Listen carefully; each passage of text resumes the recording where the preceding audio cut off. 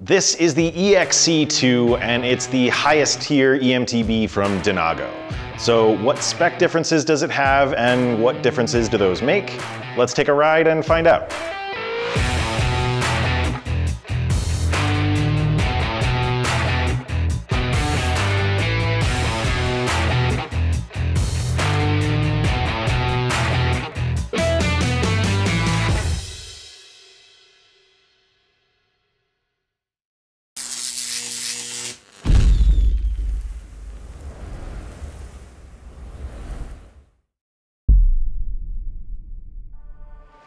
Hey everyone, I'm John with Electric Bike Report.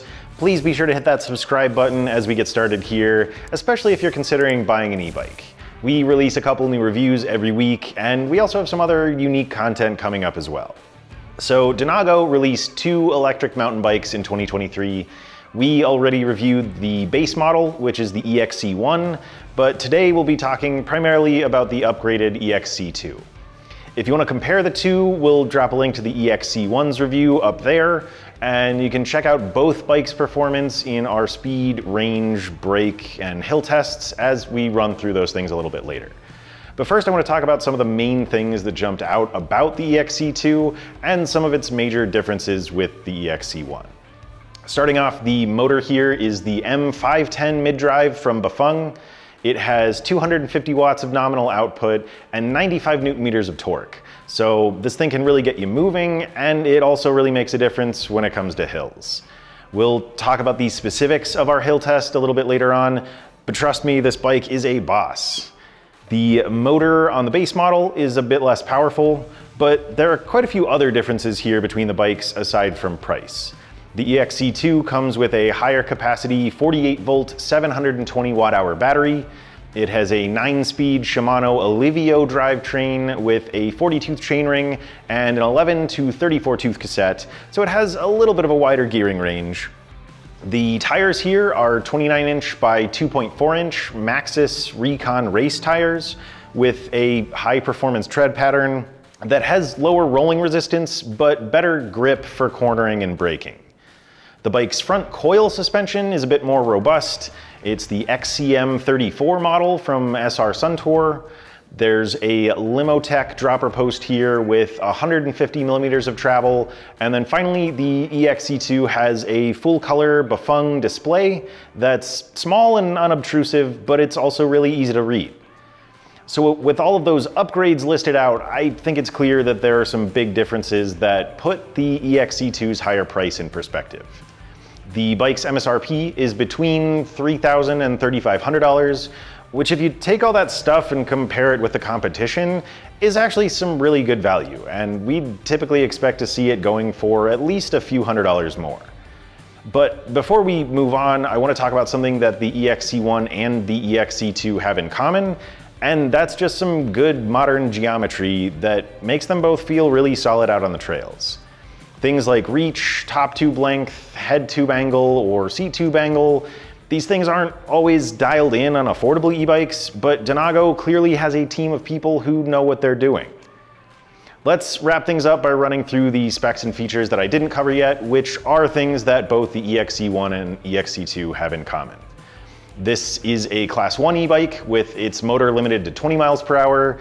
It's UL 2849 certified and it comes in three frame sizes. There's a medium, a large, and an extra large. We have the large model here. The bike uses Tektro E350 hydraulic disc brakes with 180 millimeter rotors. There's a custom Denago saddle, and then depending on frame size, you get either 740 or 780 millimeter handlebars. There are standard rubber grips, there's a control panel and a dropper post lever on the left side, there's a rapid fire shifter on the right, and that about covers everything. So let's go see what happened when we tested the EXC2's real world performance. To test the EXC2's hydraulic disc brakes, we got the bike up to 20 miles per hour, applied the brakes, and then measured the distance it took to stop. Pretty straightforward. We repeated this process three times since every situation is different, and then we used those three measurements to calculate an average. So the EXC2's average stopping distance was 21 feet 2 inches. which is a really solid result that's actually a bit better than we expected to see. The Tektro E350 system here is something we actually have a lot of experience with. Somewhere around two thirds of the bikes we've tested have used the same system, and their performance has definitely varied quite a bit, although in all cases they've been acceptable. Our current average for all of the EMTBs we've tested is 22 feet 11 inches, so the EXC2 did about 21 inches better than average. I think part of the good performance is the variability that we've observed from this brake system, but also partially from the upgraded tires. As I mentioned, these have improved braking traction, so they grip on pretty well when the bike is slowing down. We thought these brakes felt great under practical application as well, if you're hitting the trails pretty regularly, we might recommend replacing the E350 brakes with a four piston system that won't require maintenance as frequently, but overall we think you'll be satisfied by the modulation and overall performance here. Let's go out on the EXC2 for a speed test together and see how fast the bike can go in each of its five pedal assist settings. We'll go over the results back here in the studio after we're done. All right, we are here on the Denago EXC2 to do a speed test. And I'm going here with no help from the motor, kind of right around 12 and a half, 13 miles per hour. But uh, we'll see what happens. We kick it up to eco mode. Feeling a good amount of power here, even from the lowest setting. Definitely takes the weight of the bike away, but it's also giving me some more as well. Uh, I'm actually up to seventh gear already. And we're cruising kind of right around 16 and a half miles per hour or so. Let's go up to tour mode. Or maybe that's trail, I'm not really sure. Uh, I'm shift up to eighth gear. I don't necessarily feel like I'm getting a lot more power, but I am going significantly faster. Looks like about 17 and a half here, maybe up toward 18. Let's see what happens in sport mode.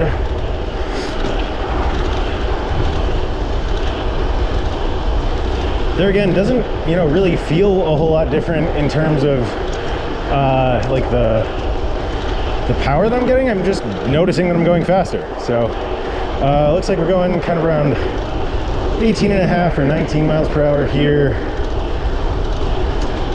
Let's kick it up to Sport Plus.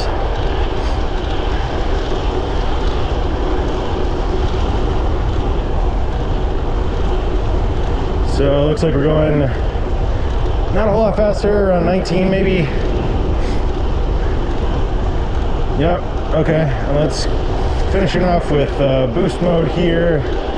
I am gonna shift up to ninth gear because I am feeling a little bit more from, from this one uh, which, yeah, that lines up. We're going kind of right about 20 and a half miles per hour, according to the bike's display. So, okay, we'll call that our speed test on the EXC2. I'll see you back in the studio. So the EXC2 uses a torque sensor that can give you more or less power from the motor depending on how hard you pedal. I kept my effort as consistent as I could so we could really see the differences between settings, but I also didn't go crazy, so if you pedal harder, you could probably go faster than I did, and vice versa if you pedal softer.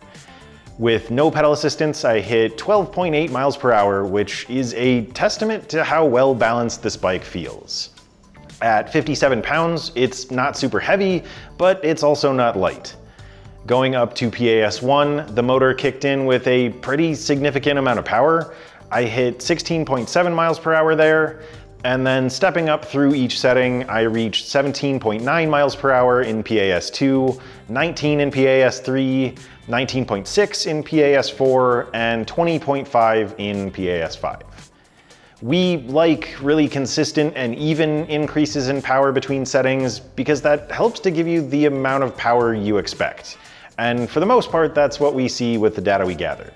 PAS1 did have an unusually powerful starting point, so we wouldn't mind seeing that brought down a little bit for those who want to feel like they're just riding a normal mountain bike.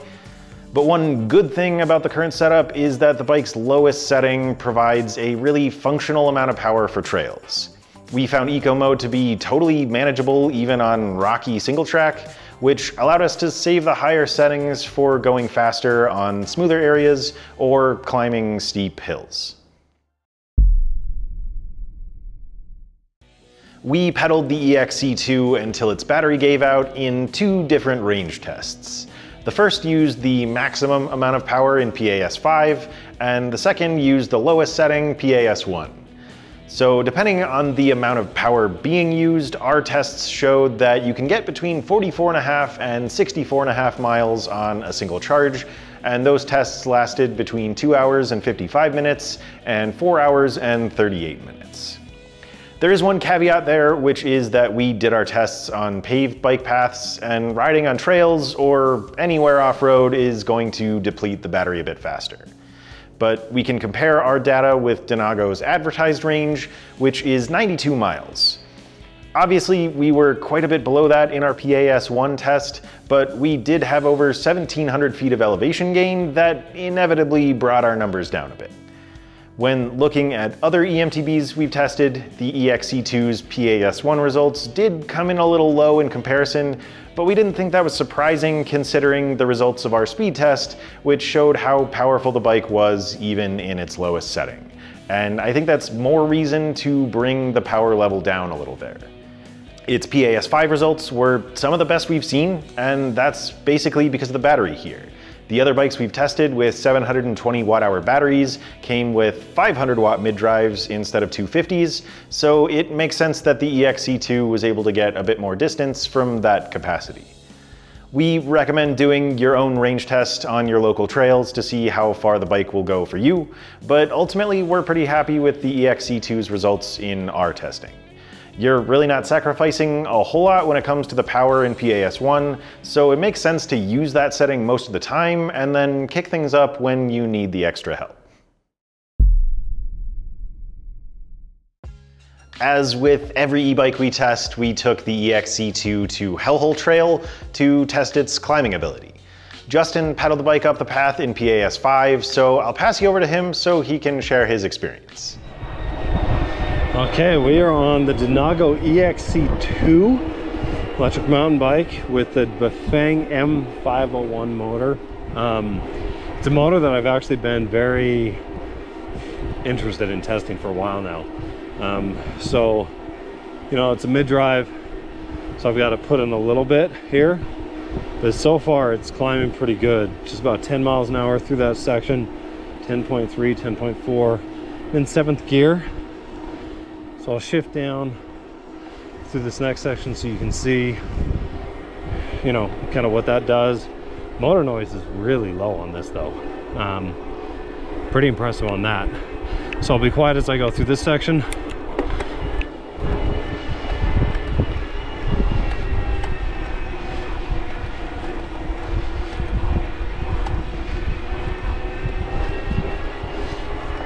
Yeah so i don't know if you could tell but as i as i downshifted there was a slight pause. The motor disengages for a split second to let me shift and then engages again. It's i've had some other mid drives like that and this is a little more responsive than those. Like it gets you right back there but there is that slight delay. Um, but overall curious to see how this stacks against some of the other you know high-end mid-drive motors and feels pretty good feels pretty quiet um, in general. So let's go to the tape and see how it does. Justin was able to make that climb in a minute and 29 seconds while maintaining an average speed of 12.2 miles per hour. And that's straight up one of the best hill tests we've seen from an EMTB. We weren't exactly surprised by that though, as most of Denago's e-bikes have performed really well in this test. To explain things a bit more, I'm gonna compare this bike to the lower tier EXC1.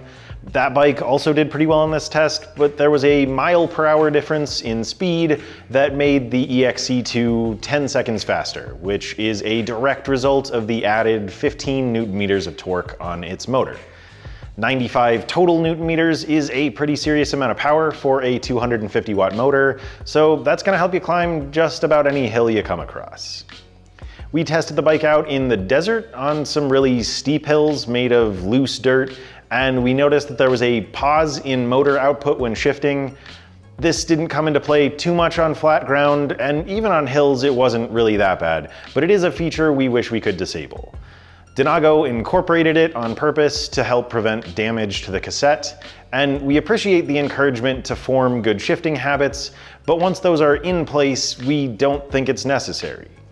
Even with this feature though, the EXC2 had no trouble making some really tough climbs. Justin took the EXC2 out on some single track and double track out in the desert, and I'm gonna pass you over to him one more time to talk about ride quality. We'll wrap things up back here in the studio in a few minutes. All right, we are out on the Denago EXC2. This is their higher level cross-country electric mountain bike. It has a few kind of key upgrades over the EXC1, primarily you have the Bafang M510 motor, so 95 newton meters of torque, a little more powerful, a little smoother. Um, feels a little lighter weight on trail. I'll have to check the specs on that. Um, same, same geometry, which I like. Just feels nice and comfortable to get a reach, wider handlebars. Um, it's kind of what I would want personally in an XC bike. Again, geometry is kind of personal some degree, but in general, I think that they've done a good job. Uh, the other difference is the front fork is the Suntour XCM34. And I can already tell you now, I just rode the XC1 and I am feeling that difference between the two. This one does feel quite a bit more plush um, and is making this this trail, and it's pretty smooth in most sections, but there are some bumpy sections and it is really feeling nice there. Um, tires, 29 inch Maxxis Recon Race, 2.4 on the thickness, I think. And I'm, I'm a big fan of the Recon, or the, yeah, the Recon Race. Um, love the grip, love the feel. I'm riding them right about 25, 26 PSI in the front and, oh, let's go this way. And about a little bit more in the rear. Um, they feel good. Good traction. Just really great all-around tire. So love that they spec'd it with Maxxis there. You have a nine-speed drivetrain. It's the Shimano Alivio definitely their entry level. And some longer climbs like had that been much longer or maybe two or three times longer a little steeper I would have probably wanted something like a Deore or SLX that goes out you know 11 12 gears using a little more hill climbing capability. But so far in riding this, I actually haven't needed the extra gears. Um, so I can just kind of put it in turbo and make up for it. So going back to that motor, let's kind of shift down. I will say I like the display here. Very clean display, easy to see. The shifter buttons on the power a little better feel than the M4 410 from Bafang. A little more natural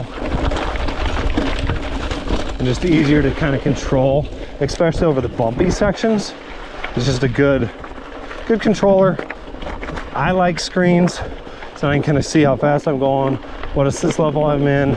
I've been in eco this whole time, and I've been totally fine in eco.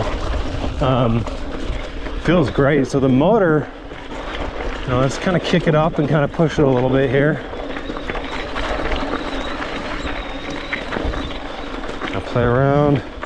Okay, so in eco, about 9, 10 miles an hour up this, you know, small hill.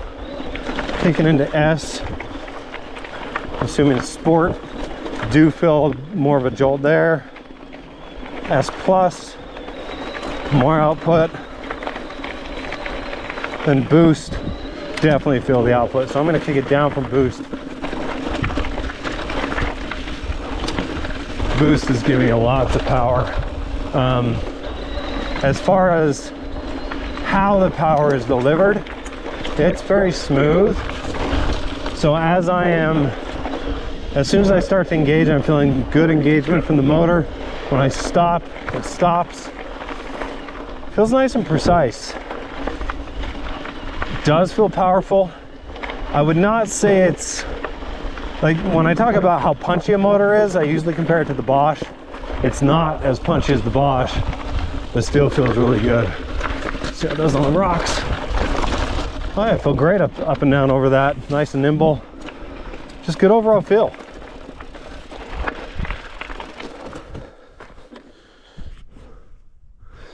I'm gonna turn around and climb that to see how that motor feels over that rocky climb.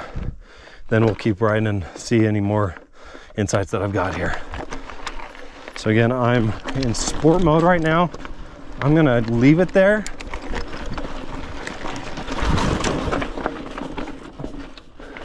Oh yeah, up and over those, nice and easy.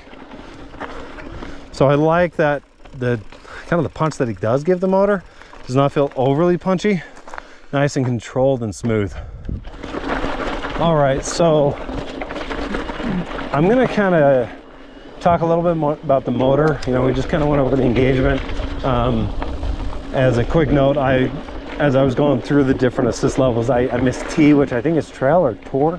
Um, but there is good power differences between each of those assist levels. It feels nice and natural. The one thing that isn't supernatural is if you're cranking it really hard and you need to, need to maybe like downshift, maybe if I wanted to downshift here, there's a slight,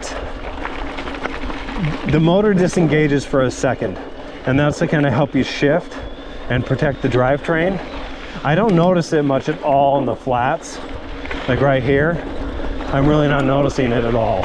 Um, but when you get to a hill, that is where you do notice it. And it's not, at first I was really concerned about it. And I, I you know, asked Denago, hey, why are you doing this? And they said it was on purpose to protect the drivetrain. And they, you know, it wasn't like, oh, we messed up. They did it on purpose. So I'm gonna find a hill where we can climb up. If I just reverse what I just did, we'll be able to kind of show you what that does. Just that slight lag and give you an idea of if that's an issue. We'll wait till John comes down here. All right, so I'm gonna get in like a really high gear where I start climbing and I feel I need I need a downshift. Right here. There's that lag. Little lag. Let's do it again right here. So yeah, there is a little bit of a lag, but it is very, it's a lot quicker than some of the other motors that we've tested, where the lag is just so great you lose all your momentum. So I think the beginner is possibly going to appreciate that because it's going to help protect your drivetrain as you're learning to shift and not do so under load. Um, more experienced person is going to feel like, wait, why is there this? Why is there? Why is there a little drag um, as I'm shifting down and climbing hills?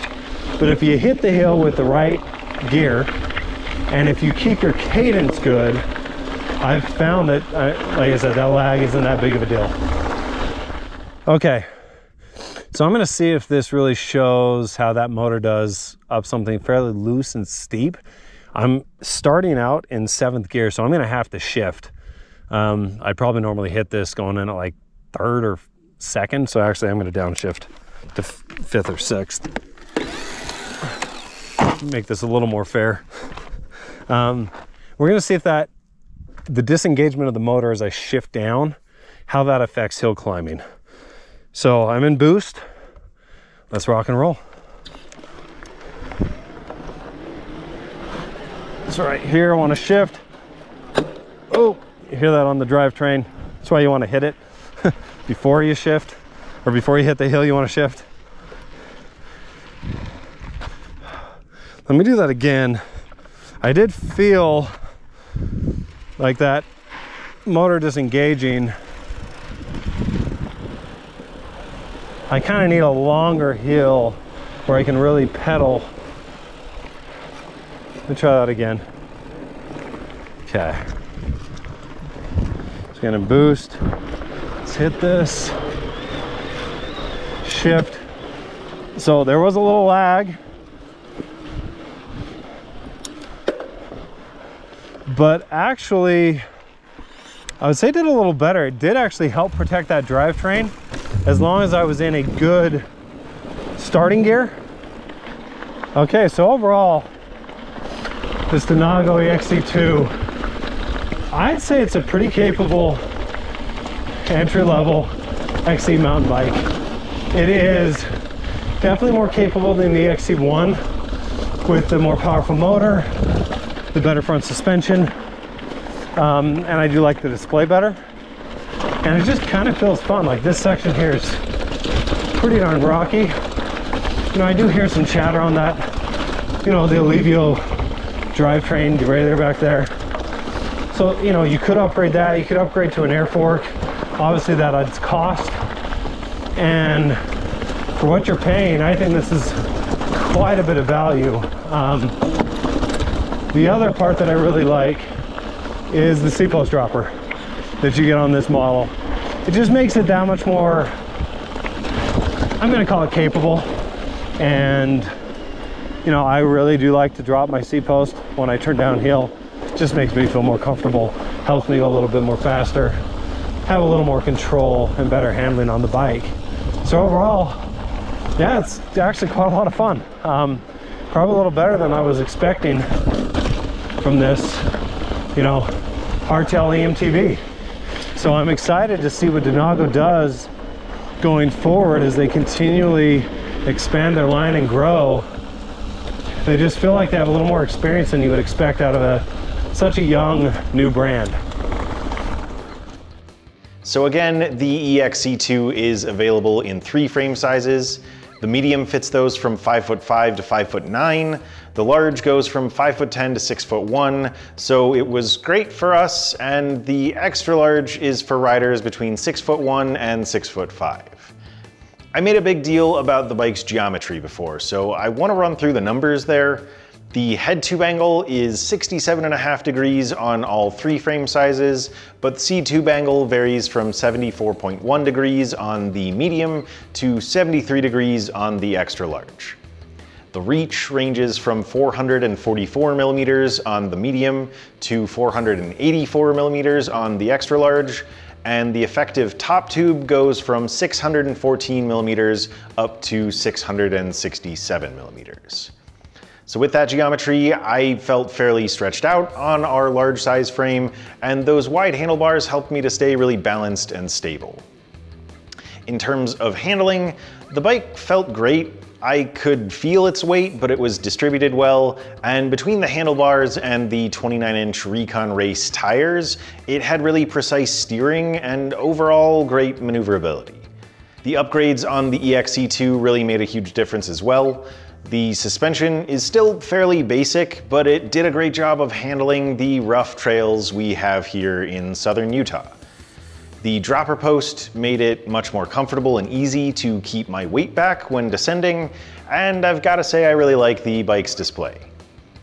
It's worth mentioning that many of the components here are still entry level, so you're probably not gonna wanna ride super rough trails with tons of rock gardens and jumps, but the EXC2 is gonna be a great bike for smoother terrain and maybe some technical stuff every once in a while.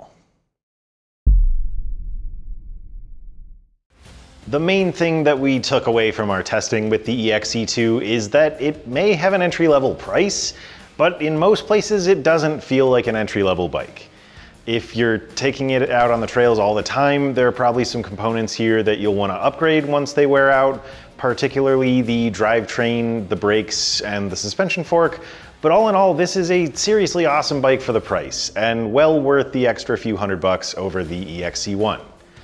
We learned that this is a seriously powerful bike with the ability to ride fast and climb hills with very little effort. Its brakes were solid, it felt great on the single track and double track we took it out on, and with that big battery, it has pretty decent range. It was honestly pretty difficult to find something to critique here. And the slight pause in motor output when shifting is really the only thing we came up with. It would be great to be able to disable that, but in most cases it wasn't a problem, and overall the motor felt more responsive than the one on the EXC1. Bottom line, we think this is a great purchase if you're looking for an affordable but still super functional bike that you can realistically take out on trails. It'll get you to work and back just fine as well, so there's actually quite a lot of flexibility in what the EXC2 can do. If you're thinking about picking one up for yourself, we think you'll be glad you did. And to make that a bit easier, we will leave a link to Denago's website down in the video description. We give our honest feedback in every video, but we do earn commissions that help us to keep making high quality reviews. So please use that link to let us know you found this one helpful. It does not cost you anything extra. If you like reading, you can also check out the link to my written review of the bike, and don't forget to like the video and subscribe to the channel so you don't miss any of the great content we have planned for 2024. Thanks for watching, and please let us know what you think of the EXC2 down in the comments section. Again, I'm John with Electric Bike Report, and this is the Denago EXC2.